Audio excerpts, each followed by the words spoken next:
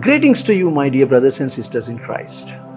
From today onwards, we will be coming to you on every Saturday, Monday, and Wednesdays. At this time, bringing you a special message because I believe the Lord speaks to His body, and even right now, He speaks to His body, His people, and we know that He speaks to us through the Word of God. But the Holy Spirit in us always brings us a message to the times that we are living in. And I believe that He speaks to us, preparing us, making ready a people prepared for His second coming. And I strongly believe, as I know that you also will believe, that His return is imminent and His return is very soon, and His soon return will take place at any time. And my dear friends, and my dear brothers and sisters, there are certain things that the Lord is speaking to us even right now about the, the work that we need to do, or His body needs to do, or He expects His body to be doing when He's returning, when He's coming.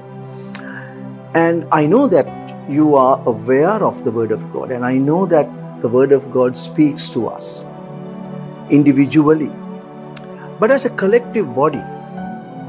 Our ministry is called the Pneuma Elias Ministries, which means the, uh, the ministry that operates in the spirit of Elijah, preparing and making ready a people prepared for the Lord. And th- that's the mission, the vision that He has given us. And on, in that context, I would like to bring to you a very special series of messages. Uh, not only me, my colleague who will be uh, sharing his thoughts, his, his insight, his revelation with you from the next lesson onwards. But uh, uh what we are uh, bringing to you, what we bring to you, what we are planning to uh, put before you is the, the main message or the collective message that the Lord is speaking to his body right now. My dear friends, I know that most of you believe that Christian life is a journey. It's a Christian journey that, that the moment we became Christians, moment we the moment we accept Jesus as our Lord and our Savior, we started this journey. Then the baptism took place, and we are on this journey. What is the journey? What is this journey, and what can we expect in this journey? My dear friends, the Lord has not left us in the dark about the journey. He has given us many examples. And the Word of God is full of that advice and uh, uh, admonition and guidance about the journey. And so we named this series at the beginning of our, uh, uh, uh, the lessons that we are planning to do, the series of uh, lessons that we are planning to do. The first series is called The Journey. Okay, what is this journey? The journey is the transformation that every Christian needs to go through from the time he accepts Jesus into his life as his Lord and his Savior until he meets the Lord. So, this journey is the transformation that takes place inside all of us, inside you and me. The transformation is this.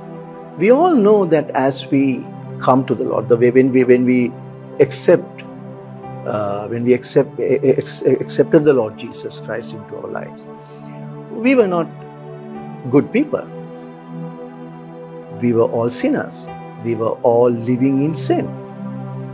And if we are honest, uh, we will you will agree with me that we all were going in a straight path to destruction, eternal damnation.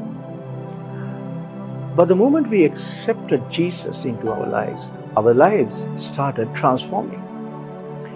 And the journey is, as I told you earlier, from the sinful nature that we had when we accepted Jesus to the righteous image or the righteousness that came from Jesus that we are supposed to we are we are uh, advised to or we are destined to be like Jesus. So the the journey is from that sinful nature into the righteous nature of Christ. And it doesn't happen automatically it doesn't happen instantly. It's a process and it's a journey. Jesus spoke about this journey. He said narrow is the gate difficult is the way that leads to life. That's a journey. And he said, only few will find it. And he also said that broad is the way and easy is the way, and many will go through that. But the end of that road or the broad way is death. But the deception today is, my dear friends, the enemy or Satan or the serpent, as he deceived Eve, is deceiving the church today in this aspect that is about the journey. What the enemy has brought into the church, what he has put into the minds of the, the innocent Christians is this that even the broad way leads to life. Jesus very specifically said, Narrow is the gate, difficult is the way that leads to life, and only few will find it. How true! How true! Because as we look around us in the Christendom, we find that many, many are going in the easy way. They are taking the easy way out. Nobody wants to be persecuted. Nobody wants to be in a difficult situation. Everybody wants everything to be normal and comfortable. And most of the Christians are, uh, uh, enjoying the comfort zone.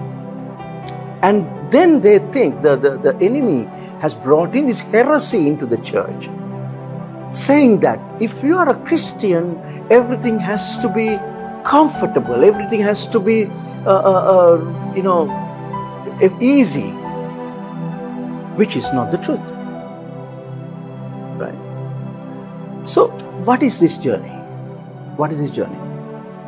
As I told you, from sinful nature into the righteous nature of Christ. And the journey takes place in a narrow path and there are difficulties. My dear brother and sister in Christ, the Lord has not left us in the dark about the journey and what to expect on this journey.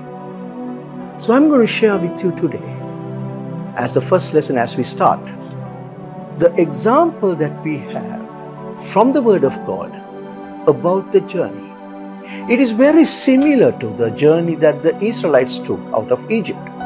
They were in slavery in Egypt, like most of us were slaves to the worldly system before we accepted Jesus. We were, we were on this rat race. We were slaves to the system. And, and somehow the Lord uh, performed miracles and opened our eyes and got our attention. And most of us wanted to start this journey with the Lord. As Moses came and uh, uh, uh did miracles to get the attention of the Israelites, Jesus is doing miracles today to get the attention of the believer or the non believer. And whoever wants to be released from the, the bondages and the bondage of this world system, they put their trust and faith in our Lord Jesus and they start this journey. And what happened to the, the, the, the Israelites? Naturally, during that journey from Egypt to the promised land, through the desert, is happening to every one of us, you and me, spiritually on this journey. So, what happened to the Israelites naturally is relevant to us spiritually from Egypt to the promised land. We don't have to search and go far because Paul uh, uh, wrote about this. So I'm going to read from 1 Corinthians chapter 10. 1 Corinthians chapter 10 verses 1 to 11. Moreover, brethren, I do not want you to be unaware that all our fathers were under the cloud, all passed through the sea. All were baptized into Moses in the cloud and in the sea. All ate the same spiritual food, and all drank the same spiritual drink. For they drank of that spiritual rock that followed them, and that rock was Christ. But with most of them, God was not well pleased, for their bodies were scattered in the wilderness. Now these things became our examples, to the intent that we should not lust after evil things as they also lusted. And do not become idolaters, as were some of them. As it is written, the people sat down to eat and drink and rose up to play. Nor let us commit sexual immorality, as some of them did, and in one day 23,000 fell. Nor let us tempt Christ, as some of them also tempted, and were destroyed by serpents. Nor complain, as some of them also complained, and were destroyed by the destroyer. Now all these things happened to them as examples, and they were written for our admonition, upon whom the ends of the ages have come. So, my dear friends, Paul says the Israelites were baptized into Moses through the Red Sea and with the uh, cloud. Now we know, you and I both know that Moses did not stop the people on the halfway through the Red Sea and did the baptismal service. We know that. But what Paul was referring to is that is a symbol of baptism. Because you and I, as we start our journey, as we believe in the Lord Jesus Christ, because of some miracle that took place to us or to a friend or to a relative, we started believing in Jesus and we started putting our trust on the Lord Himself. So, the first thing that you would do, or that we are asked to do or required to do by the Lord is go to the baptism. Go through that process of baptism. Baptism, baptizo means you need to go under water. You need to be immersed in the water. And just by immersing in the water that you would not get baptized, but you have to do it with the right conscience you need to do it with an understanding. So I believe most of us, you and I, have gone through that process. And understanding what baptism means, uh, uh, because Paul says in Romans 6 about baptism that it, at baptism we are crucified with Christ Jesus and we are buried with him in baptism. And as he rose from the dead, that we come out of the water as a new man. That's what Paul says in Romans chapter 6, 1 onwards. So, at what takes place is at baptism, when we go underwater, that symbolizes that we are dying with Christ. Like Paul said in Galatians chapter 2, verse 20, I am crucified with Christ Jesus. That takes place at baptism. Galatians 2 20 I have been crucified with Christ. It is no longer I who live, but Christ lives in me. And the life which I now live in the flesh, I live by faith in the Son of God, who loved me and gave himself for me.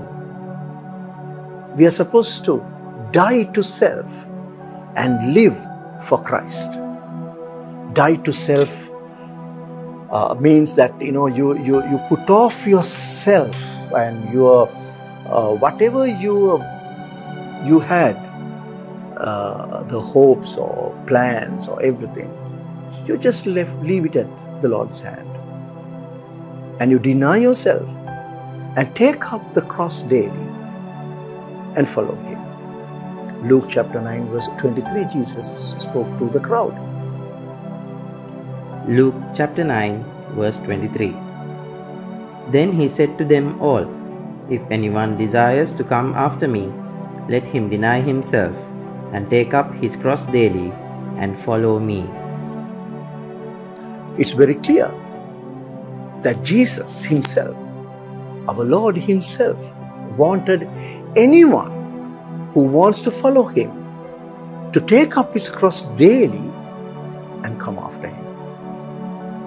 And He has, in many other occasions, He has given us in other words about dying to self, uh, crucifying the flesh. That's the journey. That's the beginning of the journey. That's what we are supposed to do at the beginning of our journey. Crucifying the flesh, the desires, plans, our hopes, and everything. Crucifying, dying with the Lord, and allowing the Holy Spirit to live through us. That means Christ in us. The, the, the character of Christ has to be increased daily.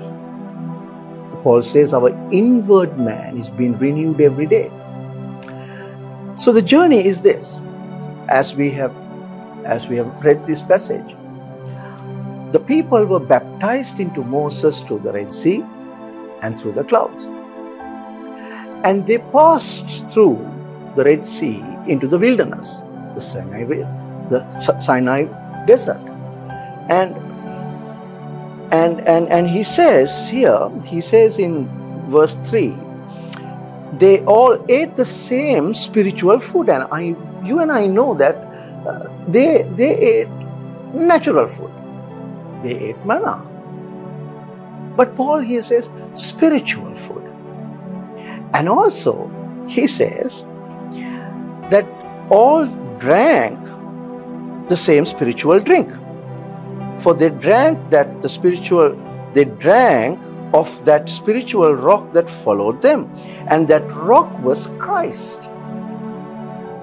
My dear friends what what paul doing what he's doing here what he is trying to explain here is that the journey that the israelites took uh, um, from Egypt to the promised land is as the same journey that you and I are on. But only difference is the Jews, the Israelites, they went through a natural journey. They, it's, it's physical uh, location, geographical locations, Egypt and Promised Land, Israel. But for us, it's a spiritual journey. And that's why this he says, they drank, they all of them drank from the spiritual rock. And that rock was Christ. And they ate spiritual food. And we are on this journey, we are supposed to depend on God for spiritual food and spiritual drink. And that rock that the water came from is Christ. How beautiful! How beautiful this journey is. But remember, don't forget that the journey took place in a desert. You and I know in a desert nothing grows, right? So we need to, they needed. They means Israelites needed to depend on the Lord for food. And that's why every time when they ran out of food, they complained. Every time they ran out of water, they complained. And Paul is very specific about this, about the complaints. He said, they always uh, uh, made the Lord angry by their complaining. So he said, Don't complain, but trust in the Lord, have faith in the Lord, because Bible says, just shall live by faith. If you have faith in the Lord, and if you trust in the Lord, and if you have put your trust in the Lord, you will not lack anything. But if you start complaining, like the Israelites did, the Lord will be angry, as he was angry with the Israelites. So the journey is from the sinful nature that we have, that we inherited when we were born into this world. We inherited this, this sinful nature. The journey is from that nature to transform into the nature of Christ, the image of Christ, because God created man in his own image. But man, by disobeying God, lost the image, godly image, the godliness. Man lost it. Jesus, the image of God that we can touch, the same image of God in a human form, came into this world and died for us and paid the price for our sins and gave us the opportunity to transform into that God likeness or to have that godliness once again through faith in our Lord. My dear friends, this journey is an interesting journey. This journey takes us from being a sinful man to a righteous man. Because on our own, none of us are righteous. Only righteousness or only righteous man on this earth is Jesus, man Jesus. And we are supposed to transform into his image. That's why Paul says in Romans chapter 12 do not be conformed to this world, but be transformed by renewing of your mind so that we can know the will of God, the perfect will of God. And for that, he says in verse 1, he said, I beseech you, brethren, therefore, by the mercies of God, that you offer your bodies as a living sacrifice, holy and acceptable to God, which is your reasonable service. That is the beginning. That is what we are supposed to do at the beginning of our journey. So, let me ask you this question, and what I think you should ask yourself is Am I on this journey? Am I on this journey? Or are you in a different journey? Looking for worldly things? Because the broad way that Jesus spoke about gives you all that. It's a deception of the devil, giving you the impression that at the end of it you will have eternal life. But Jesus specifically said the end of it is, is death, eternal death, the second death, the lake of fire. So it's a wise thing for us to, uh, wise thing, if we can uh, discern or uh, just just ask ourselves, um, am I on this journey? Am I on this journey? A transforming character transformation.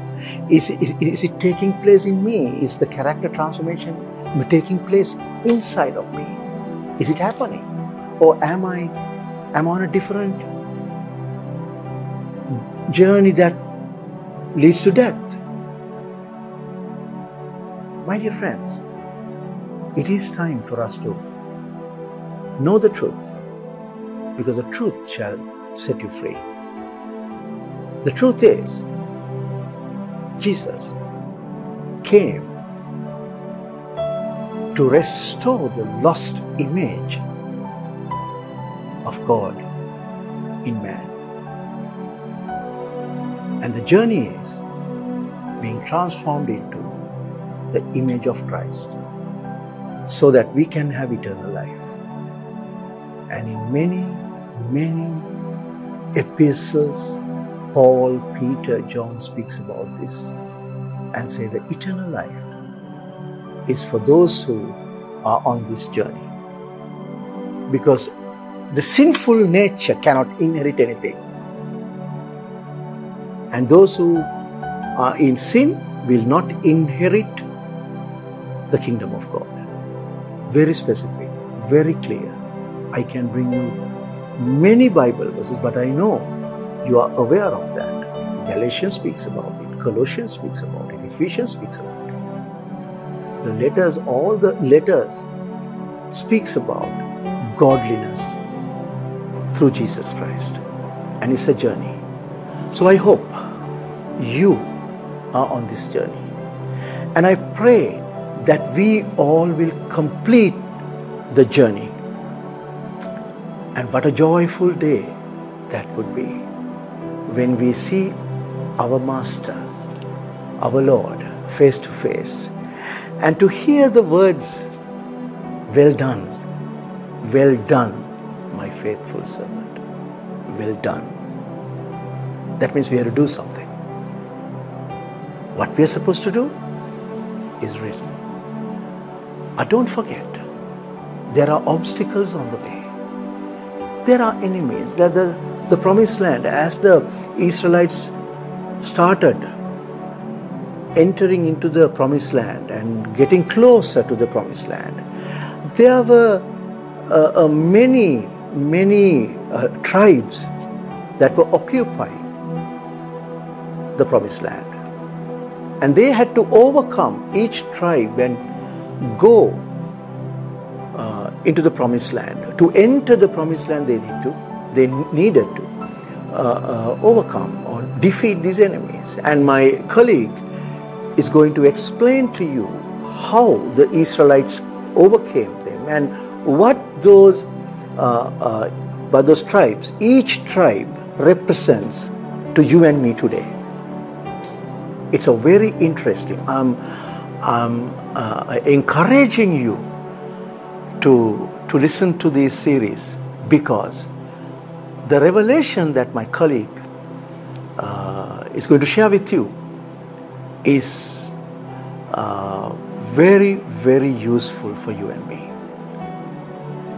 And I hope and I pray that you will be with us and connected with us, stay connected, and go through this journey with us until the Lord comes. Uh, we are on this journey, transforming. And uh, the perfect man that Ephesians speaks about will come out of us, and the many uh, nations, many people will know that we are disciples of Christ. Jesus said, If we love one another, the world will know that you are my disciples. We cannot love one another unless we have the character of Jesus in us. We cannot have agape and love the brother who is uh, uh, doing damage to us, doing something harmful for us. We, can, we can't love him unless we have agape love in us. We cannot have agape love until unless Jesus lives in us. So, Christ in you is hope of glory. And Jesus wants his body to be aware of this journey. Journey to the righteous, journey to his righteousness. Uh, complete man grown into, the, grown into the stature and the measure of Christ, a perfect man. And that's what he wants from his body. That's the message that he wanted me to share with you today. But as I told you, my colleague is going to come from the next lesson onwards, and he's going to share you some interesting uh, things about the enemies that the Israelites had to defeat and what it means to you and me today on this journey, who are on this journey. So, until we meet next time, God bless you all.